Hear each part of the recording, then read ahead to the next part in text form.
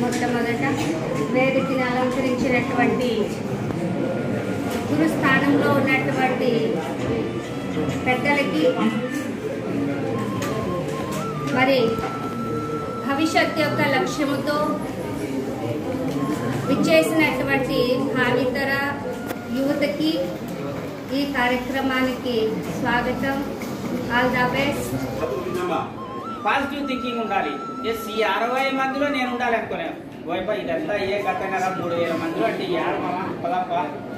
ఇట్లా అనుకుంటే కాదు. ఎస్ ఈ అరవై మందిలో నేను ఉంటా. ఫస్ట్కే ఉండాలి అని పాజిటివ్ థింకింగ్ ఉంటా. ఈ కొద్ది రోజులే కదా. నాలుగు గంటలకు లేచి మీరు స్టార్ట్ చేస్తే ఖచ్చితంగా ఇదైతారు మీరు అందరూ కూడా సెలెక్ట్ కావాలని కోరుకుంటూ